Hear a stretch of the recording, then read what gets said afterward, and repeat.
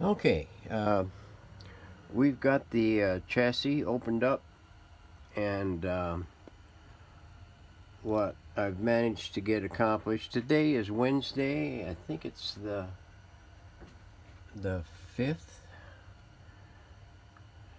um, of January. And uh, we managed to um, pull the connections to this um, original ECAP.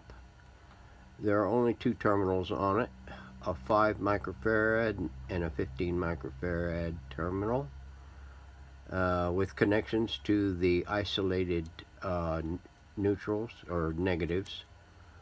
Uh, we we clipped the terminal. I removed the uh, the ECAP completely and then clipped the terminals off of it cleaned up the mounting tangs and uh, reinstalled it and put this uh, short uh, terminal strip onto the mounting tangs which is the which is the common connection to the original ECAPs. And I will be making connections to that at this point for the um, for the things that connect to the B minus line. Okay, and then the the uh, the new caps are going to be mounted, at least two of them, the small and the and the 15. The, the 4.7 and the 15 are going to get mounted to the other two rungs here, and then the negatives will, or the negatives will connect to the original connection points of there and uh, and we got the uh, other 15 microfarad cap clipped out and gotten rid of.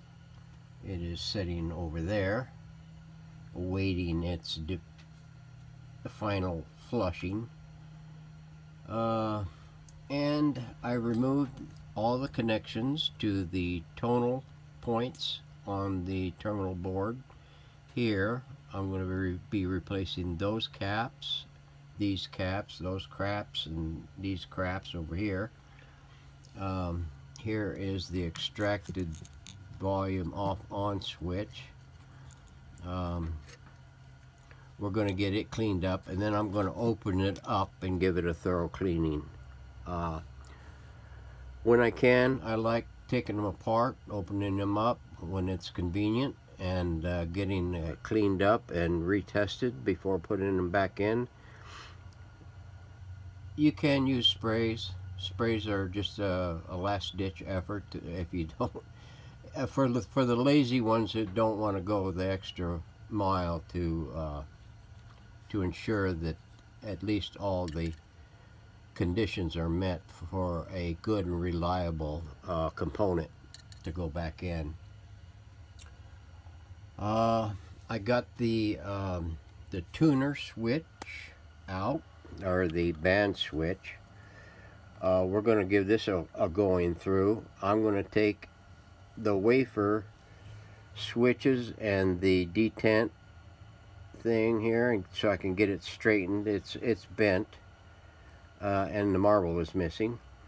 I'm going to take each individual wafer section and dip it and clean it and scrub it and clean it up and you won't believe it's the one that looked like this when it's done. I got the uh, tuner cleaned up and lubed as well as the uh, the drawstring drum for the tuning shaft. Uh, gee, what else did I gank up here. Okay, um, I got the uh, oscillator coil uh, pulled and uh, brushed and reheated and the wax reflowed on it. This is going to get cleaned up. And this Gizzy dual cap I think this is a dual fixed cap that is factory set. It, it goes in there in proximity to the band switch and I believe it's for the uh, I believe it's used for the uh, no it's used for something. My mind is not as sharp as it used to be. If if it was even sharp then I don't remember cutting myself with it but uh, it is what it is okay. Now um, I'm gonna get this uh, get this taken apart get that taken apart cleaned up dipped where uh, convenient. And then um, I'm gonna go proceed to um,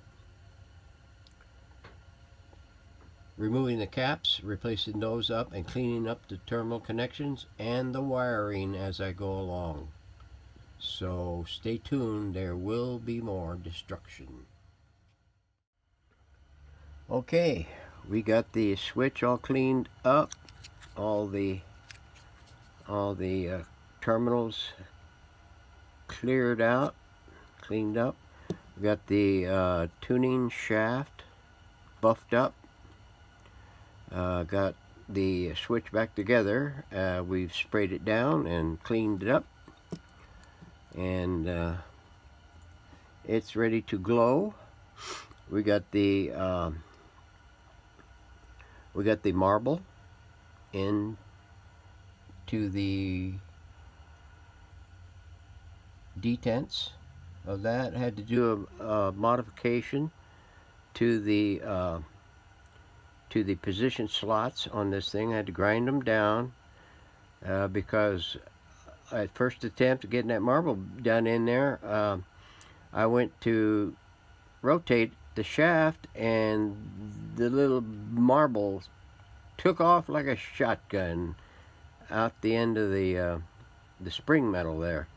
So I had to modify the uh, the the plate here where the detents are take down the little slightly rounded domes in between the the holes centers and uh, give it a little punching to get it straightened get it straightened up there.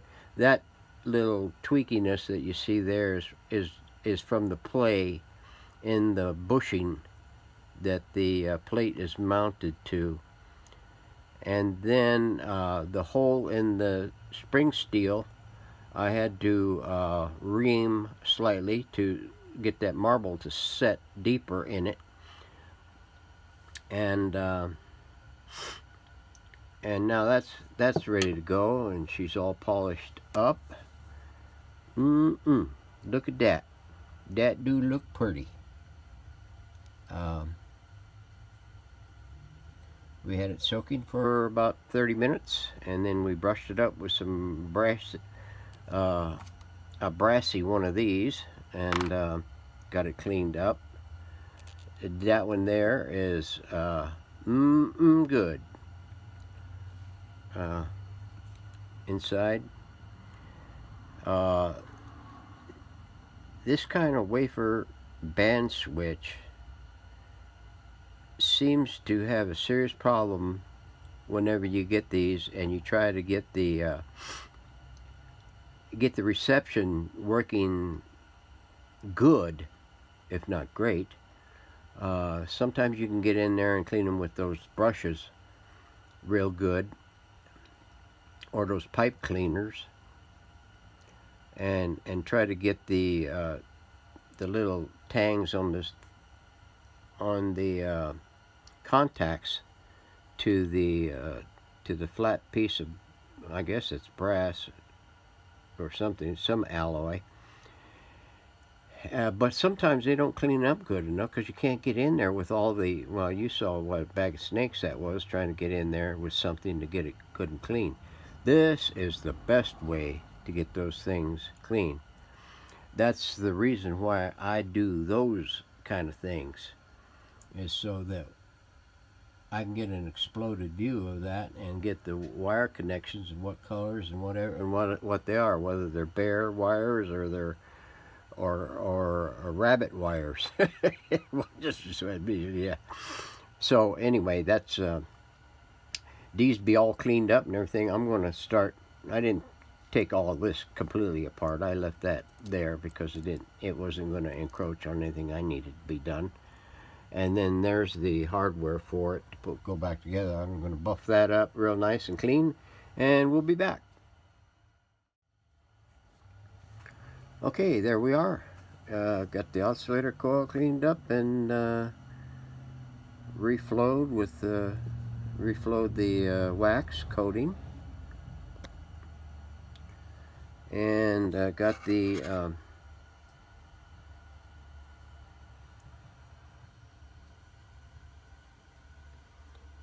the wafer switch for the band selection cleaned up and ready to go back in. Uh, now I gotta go in and do a search and destroy on everything else. So we'll be back soon. Okay, uh, busy little bee today. The days turned out to be pretty good. Uh, we had good sunshine all day. Uh, it warmed up to probably around 52, 54, somewhere around there. Might have been a little higher. I didn't I didn't check, but I think the last time I looked, which was about four or five hours ago, it was around 52. So we might have made mid 50s, but it was a good day in that we had a warmer day, a sunlit day. I got a few, a full canister of butane, a propane, uh, for my heater, which lasted me uh, probably uh, about three weeks on low setting.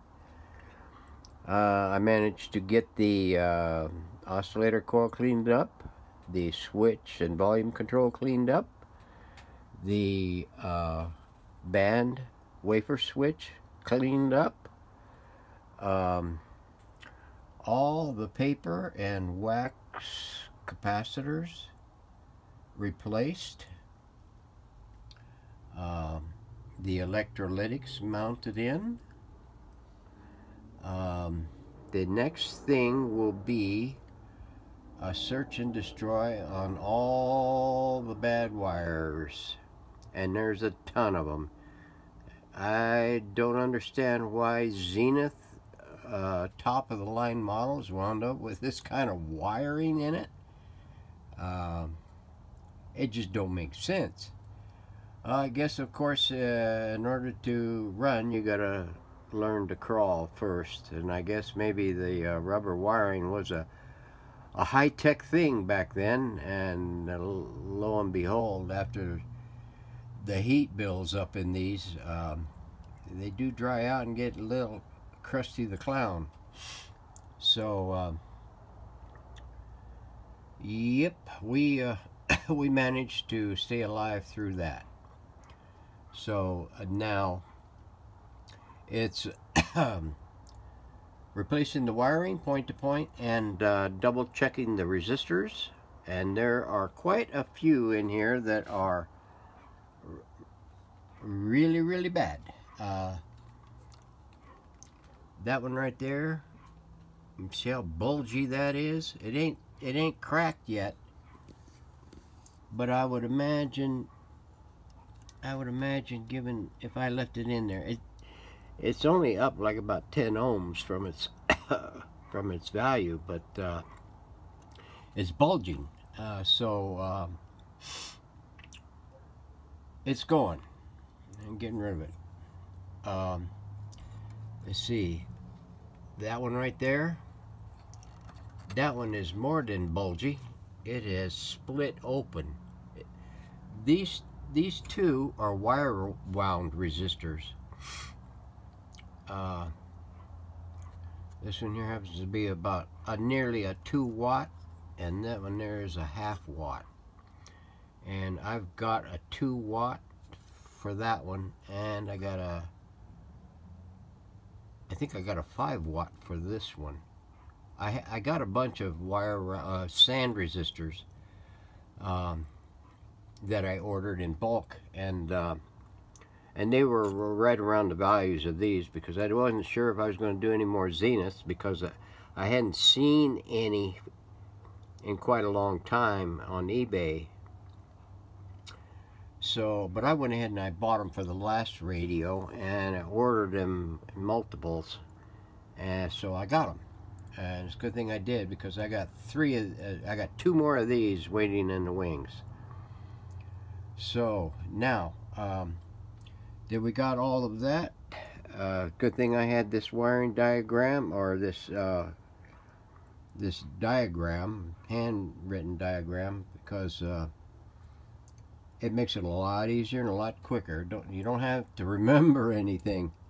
So uh, anyway, I just was wanting to get a, a quick uh, update on where I'm at with this 529, and so I could get it uh, get it processed and get it uh, uploaded to YouTube tonight. So uh, see you on the next segment.